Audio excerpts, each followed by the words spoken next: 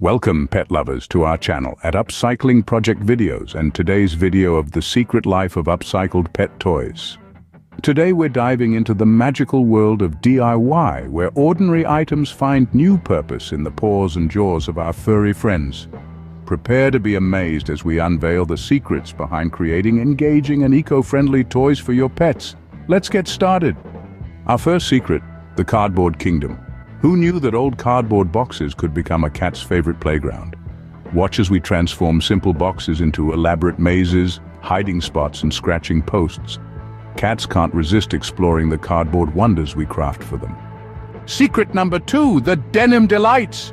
Discarded jeans find new life as durable dog toys. With a few snips and stitches, we create tug ropes, chew toys, and even interactive puzzle feeders your canine companions will be tail-wagging with joy. Secret 3. The Birdie Bonanza, calling all bird lovers. Discover the art of turning empty plastic bottles and wooden spoons into charming bird feeders. Hang them in your garden and watch as colorful feathered friends flock to enjoy the feast you've provided. And now secret number 4. The Treat Time Triumph. Using PVC pipes and old tennis balls, we craft interactive treat dispensers that keep dogs mentally stimulated and happy. It's a win-win. Your pup gets treats, and you get a happy, entertained pet.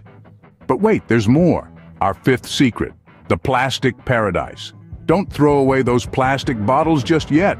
Watch as we transform them into colorful, fish-shaped cat toys filled with catnip. Your feline friends will be hooked. And there you have it the secrets behind the secret life of upcycled pet toys. With a dash of creativity and a sprinkle of love, you can provide your pets with endless hours of fun while helping the environment.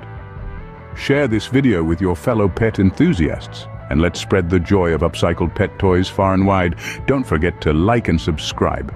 Until next time, happy crafting and happy pets.